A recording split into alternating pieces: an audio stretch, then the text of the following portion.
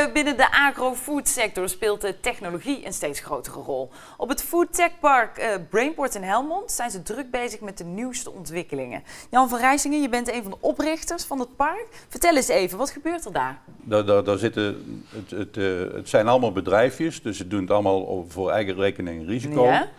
Uh, een van die bedrijven is, uh, is Pascal Processing bijvoorbeeld. Uh, die is met een technologie bezig waar je dingen langer houdbaar maakt. Mm -hmm. of, of, ja. Ja, om, om door middel van ultra hoge druk. Het product wordt in een basket gebracht, gaat in een soort kanonsloop en dan wordt vervolgens wordt er, wordt er water bijgeperst tot het product op een druk zit van 6000 bar. Daar kunnen die bacteriën en virussen niet tegen. Oh. En vroeger uh, conserveerden we spullen door uh, te verhitten. Ja. Hè? Hier gebruik je dus een andere technologie, uh, druk. Dus je houdt de kleur, de smaak, inhoudstoffen, die blijven beter behouden. Die... Want, want, merk jij dat er echt een verschuiving gaande is? Ook van de kwantiteit naar kwaliteit, naar uitbreiding van. En ook ja, een stuk duurzaamheid eigenlijk. Meer ja. het maatschappelijk verantwoord ondernemen terugkomt. Ja, als je naar Europa kijkt, er komen geen mensen bij.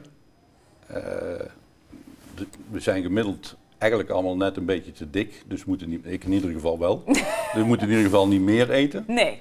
Dat betekent dat qua volume uh, er in Europa eigenlijk geen groei zit. Nee. En we moeten dus meer gaan kijken naar waar, waar kunnen we nu toegevoegde waarde leveren aan ons product. Nou, we hadden het net over dierenwelzijn. Hè? Mensen waarderen het uh, als, als, als we daar rekening mee gaan houden. Dat, dat, dat dient hem in emotie. Mhm. Mm -hmm. En het blijkt dan ook dat ze bereid zijn om er iets meer voor te Ja. betalen.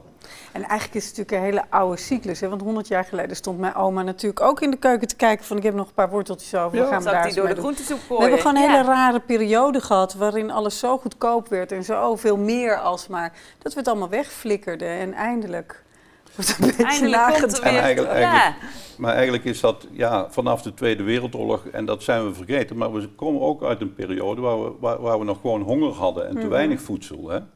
En dat is eigenlijk in eind jaren 60 hebben we die grens bereikt, dat we voldoende voedsel hebben. Maar we zijn maar doorgegaan met efficiënt produceren Ja. en produceren en produceren. Ja. Wij, wij verdienen nog steeds heel veel geld met, met, met, eh, met, met de agri-food. Eh, het is een van de grootste sectoren in Nederland. Brabant pakt ongeveer 25% van die omzet. Als laatste nog één ding dan. Hoe ziet de boer 2.0 eruit in 2050? Is dat nog een traditionele boer of zit hij zo vol met En hij- technologie en heeft hij nog land, Nee, heeft hij nog grond En heeft hij nodig? Yvonne Jaspers nog nodig? Juist. Ja. Oh ja. Misschien Waarschijnlijk niet meer, want dan kan hij tegen die tijd ook online daten. Ja. Ja, zeker. Nou, dat zou in ieder geval helpen, want je ziet dat, dat het aantal boeren, de gemiddelde boer, steeds ouder wordt en dat opvolging een probleem is. ja. Dus het is wel belangrijk dat die boeren ook weer aan een vrouw komen of de vrouwelijke boer aan een man. Eh, Maar, maar nee, hoe ziet er die uit? Ik, ik denk, als je kijkt wat, wat de ontwikkeling is, is dat wij toch weer terug moeten naar, naar een soort ecosysteembenadering, waarbij een boer in samenhang met de natuur eh, voedsel, voeding produceert, Mhm. eh, maar ook natuur produceert, eh, misschien iets doet met energie. Maar het wordt dus geen techneut. Het Nee. wordt geen techneut. Ik, ik Het zie wordt Het wordt meer een vrouw. bewuste- Ik hoor het al, het wordt gewoon een vrouw. Ik zie, ik, is dat, ik zie het, ik zie het meer als, het, als, laat ik zeggen, in Brabant zijn we bekend van het gemengde bedrijf, maar het wordt een nieuw gemengd bedrijf. oké, daar sluiten we mee af. Dankjewel Jan.